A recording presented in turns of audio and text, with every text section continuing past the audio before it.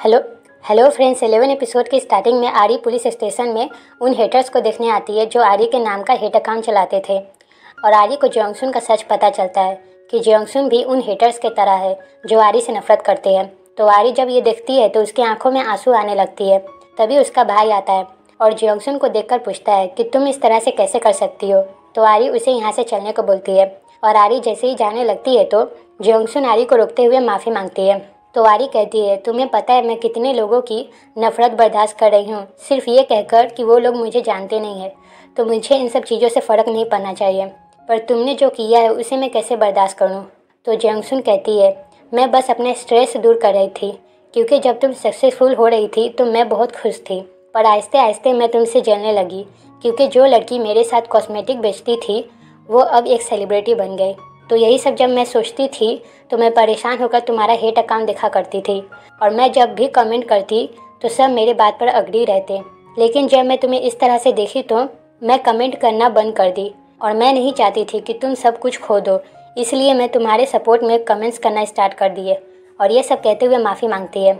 और हम जुनक्यों को देखते हैं, जिसे हॉस्पिटल लेकर आ रहे होते हैं। तभी सीयोन जुनक्यों को देखकर उसके पास जाती है और परेशान होने लगती है।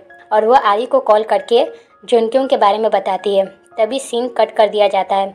और हम आरी को देखते हैं, जो अपनी कार के साथ पानी में डूब जाती है। और हम प्रेजेंट डे में देखते हैं, जहाँ पर चीफ उस पुलिस ऑफिसर को आरी का केस इन्वेस्टिगेट करने का ऑर्डर नहीं दे रहा होता है, क्योंकि उसका माना था कि जब आरी ज़िंदा है तो वो पुलिस स्टेशन में आकर रिपोर्ट क्यों नहीं की। तो वो पुलिस कहता है, आरी तीन महीने पहले रिपोर्ट लिखाई थी, पर तेजू ने केस को दबा दिया था। और जो रिपोर्ट आरी लिखाती है, उसका स्टेटमेंट उसे दिखाता है। और उसे इन्वेस्टिगेट करने का ऑर्डर मिल जाता है। और तेजुन अपने आदमी को सारे एविडेंस को डिस्ट्रॉय करने का ऑर्डर देता है और सब यही कर रहे होते हैं। तभी तेजुन को पता चलता है कि उसका सर्च वारंट आया है। तभी पास्ट का सीन हम देखते हैं, जहाँ पर आरी जुनकियों को हॉस्पिटल में देखने आती है और वहाँ पर सीयून भी होती है और उसे पता चलता है, जुनकियों को अभी होश नहीं आया है। तो आरी जुनकियों से मिलने के लिए जिद करने लगती है, पर कोई उसे जाने नहीं देता है। तो आरी रोने लग जाती है, तभी उसको अंकल के बारे में पता चलता है कि वो सुसाइड कर लिए हैं। और आरी को सुसाइड नोट दिया जाता है। और जब आरी पढ़ती है तो उसे पता चलता है, अंकल ये कंपनी डूबने का सारा फॉल्ट अपने ऊपर ले लेते हैं। तो इसी वजह से वो ऐसा डिसीज़न लेते हैं।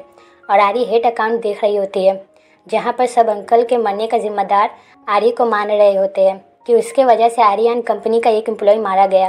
और यही सब देखकर आरी अपने आप को ब्लेम करने लगती है। और आरी अंकल के मरने का वजह खुद को मानने लगती है। यानी कि जो आरी पर कत्ल करने का जिम्मा गाविन सोसाइटी ने लगाई थी, वो असल में एक सुसाइड केस था। वो भी आरी के अंकल का। और यही सब सोचकर आरी खुद मरने का डिसाइड करती है। और इसके बाद हम मीने को देखते हैं, जिसके पास बीबीबी फ़ेमस का मैसेज आता है।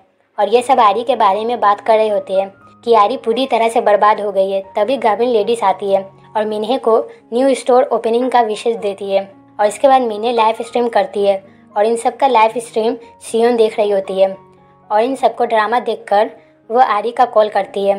पर आरी का फ़ोन स्विच ऑफ़ होता है, जिस वजह से वो सियोन का उससे बात नहीं हो पाती है। तभी वहाँ पर तेजुन आता है और पूछता है, ये डाइवोर्स देने का मतलब क्या है? क्या तुम पागल हो गई हो? क्या तुम अपने फादर को जेल में देखना चाहती हो? अगर तुम डाइवोर्स लेती हो तो तुम्हारे फादर का सब झूठ जो मैंने दबा कर रखे है, वो सब बाहर आ जाएँगे।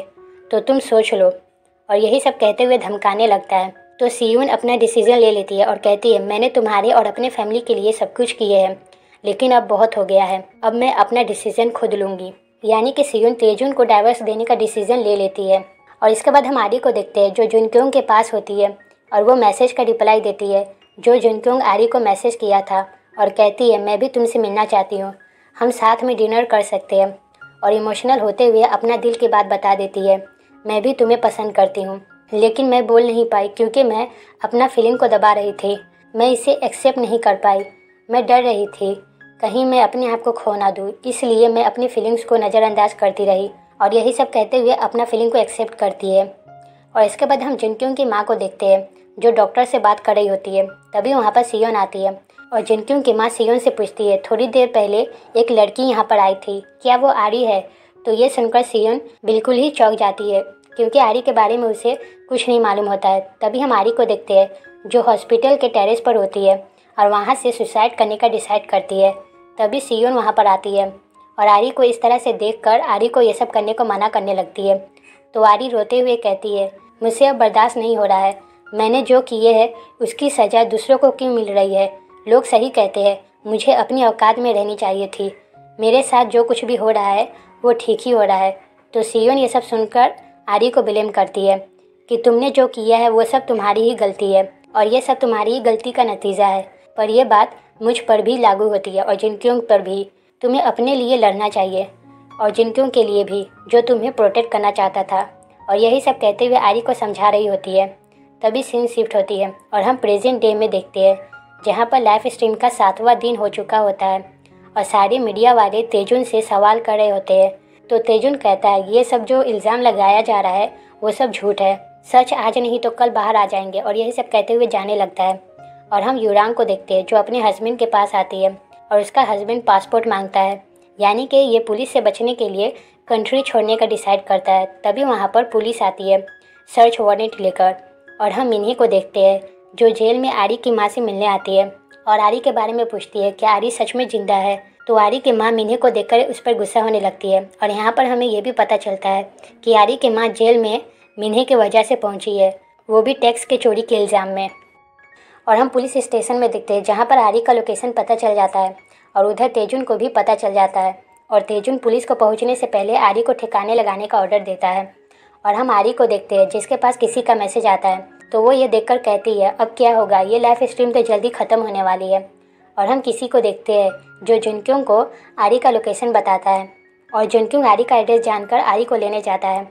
और इसके बाद सीरियन को देखते हैं, जिसके पास आरी का मैसेज आता है, तभी सीन शिफ्ट हो जाती है और हम जुनक्यों को देखते हैं, जो एड्रेस पर पहुँच जाता है और आरी को लेने जल्दी से जाता है, तभी वहाँ पर तेजुन का आदमी आ जाता है। और जैसे ही सब आरी को लेने जा रहे होते हैं तो चारों तरफ़ से पुलिस इन सबको घेर लेते हैं और जब जुनक्यों वो रूम के अंदर आता है तो वहाँ पर वो आरी के जगह पर किसी और को देखता है, जो कि जियोंगसुन होती है। और वही ये लाइफ स्ट्रीम कर रही होती है। और एआई टेक्नोलॉजी का यूज़ करके वो अपने चेहरे से, आरी के चेहरे से चेंज कर लेती है। और जिनक्यूंग जॉनसन को इस तरह से देखकर हैरान हो जाता है, तभी हम तीन महीने पहले का सीन देखते हैं, जहाँ पर आरी अपने कार के साथ सुसाइड करने के लिए आती है। और वो सीओन के पास कॉल करके बोलती है, तुम सही बोल रही थी। मैं नहीं चाहती थी कि सब इस तरह से ख़त्म होगा। मैं बस सबको सज़ा देना चाहती थी। लेकिन जो मैंने की है, उसके सज़ा भी मुझे मिलनी चाहिए। और यह सब सुनकर सीओन आरी के पास जाने लगती है। और आरी को कहती है, तुम जो करने जा रही हो, वो गलत है। तभी आरी कहती है, मैं बस अब आखिरी बार फ़ेमस होने जा रही हूँ, और मैं फ़ेमस होकर सबको सज़ा दिलवाऊँगी। और ये कहकर कॉल कट कर देती है, और अपने कार के साथ पानी में डूब जाती है। और यहीं पर एपिसोड ख़त्म हो जाती है।